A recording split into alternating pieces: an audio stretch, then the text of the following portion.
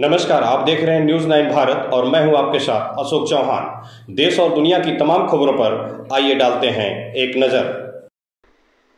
जिलाधिकारी डॉक्टर आशीष चौहान ने एनआईसी कक्ष से भौतिक और वर्चुअल माध्यम से आयोजित की गई सरकारी भूमि के रिकॉर्ड मैनेजमेंट और क्षतिग्रस्त पोलिंग स्टेशन के सुधारीकरण से संबंधित बैठक में संबंधित अधिकारियों को दिए जिलाधिकारी राजस्व विभाग और सभी नगर निकायों, नगर निगम नगर पालिका व नगर पंचायत के अधिकारियों को अपने अपने स्वामित्व के अंतर्गत दर्ज भूमि के पुराने रिकॉर्ड को चेक करते हुए भूमि की विभिन्न श्रेणियों, अन्य विभागों से साझा की गई भूमि अतिक्रमण, भूमि इत्यादि को अलग अलग आइडेंटिफाई करते हुए उसका भौतिक रूप से सत्यापन करने तत्पश्चात डिमार्क्रेशन तथा यदि भूमि पर किसी का अतिक्रमण है तो उसे अतिक्रमण मुक्त करने के निर्देश दिए। उन्हें मूल रिकॉर्ड का अध्ययन करते हुए समय समय पर अन्य विभागों को दी गई भूमि तथा अलग अलग श्रेणी की भूमि का वर्गीकरण और पहचान करते हुए लैंड रिकॉर्ड को अपडेट करने के निर्देश दिए।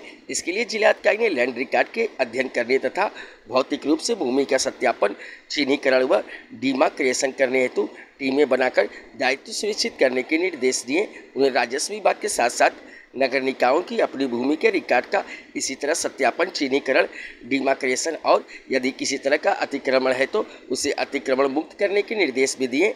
भूमि रिकॉर्ड और मौके पर सत्यापन के कार्य को उन्होंने गंभीरता से और ध्यानपूर्वक करने को कहा तथा इस बात से भी आगाह किया कि लैंड रिकॉर्ड के सत्यापन और सर्वे में यदि किसी तरह की लापरवाही व हेराफेरी की जाती है तो अनुशासनात्मक कार्रवाई की जाएगी। न्यूज़ लाइन भारत के लिए वीरेंद्र रावत की रिपोर्ट। द्वारा ये निर्देशित किया गया कि जो हमारे राजस्व अभिलेख हैं उनको इम्प्रूव करते हुए जो म्यूटेशन के प्रोसेस हैं या कहीं पर जो प्रॉब्लम्स आती हैं, आम जनमानस को भी और रेवेन्यू रिकॉर्ड अनसिस्टमेटिक तरीके से मेंटेन होते हैं। तो उस सबको प्योरीफाई करवाने के लिए इम्प्रूव करने के लिए ऑनरेबल चीफ सेक्रेटरी सर की तरफ़ से निर्देशित किया गया इस क्रम में फ़ील्ड स्तर पे भी वेरिफिकेशन होगा। जो गवर्नमेंट की प्रॉपर्टीज़ हैं या गवर्नमेंट की लैंड है, उसको भी आइडेंटिफाई किया जाएगा डिमार्केट किया जाएगा। साथ ही रेवेन्यू रिकॉर्ड्स में भी जो इम्प्रूवमेंट की कोशिश है, वो की जाएगी। में जो बैठक ली है उसमें लगभग पचास बूथ हमारे क्षतिग्रस्त पाए गए हैं। उसका रैशनलाइजेशन पोलिंग स्टेशन का रैशनलाइजेशन का प्रोसेस चल रहा है। अगले दो तीन दिन में समाप्त हो जाएगा। और जो आपदा के कारण क्षतिग्रस्त हैं या अनुपयुक्त मतदान स्थल है, उनके संबंध में जो सूचना होगी, उनके बाद अपडेशन या उनका वैकल्पिक बूथ ढूँढने का कार्य किया जाए या रिसेंट ईयर में हो सकता है रिकॉर्ड डिस्ट्रॉय किए गए होंगे तो पुराने रिकॉर्ड्स अभी भी लोगों के पास में होंगे।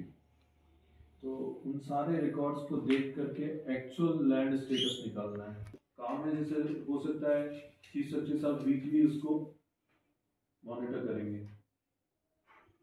तो हमें अपने अपने इलाकों की ज़मीनों के स्टेटस निकालने, अतिक्रमण और फिर डिपार्टमेंट से उनके साथ एक बैठक कर लेना। जैसे श्रीनगर में एक ज़मीन थी जो यहाँ खबरों का सिलसिला कभी नहीं थमता। सिर्फ़ और सिर्फ़ बने रहिए न्यूज़ नाइन भारत पर। अब चाहूँगा इजाज़त। नमस्कार।